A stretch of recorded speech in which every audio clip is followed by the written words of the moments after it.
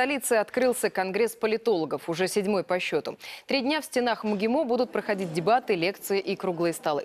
Современные вызовы и политическая ситуация в мире в целом делают в этом году встречу особенно актуальной. Как обеспечить безопасность? Это главный вопрос. На фоне разделяемого с европейскими и американскими партнерами осознания террористической угрозы, противоречия между Россией и Западом никуда не исчезли. Вместе с тем, сегодня открывается редкая возможность, когда наши западные партнеры не могут пренебречь российской точкой зрения хотя бы по такой узловой проблеме, как борьба с терроризмом.